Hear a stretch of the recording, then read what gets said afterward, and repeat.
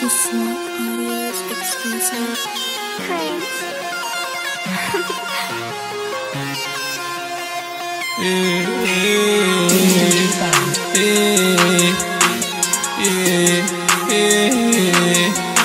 Start to lose myself, so nowadays you call me no name. Look at my DM nowadays, I tell her.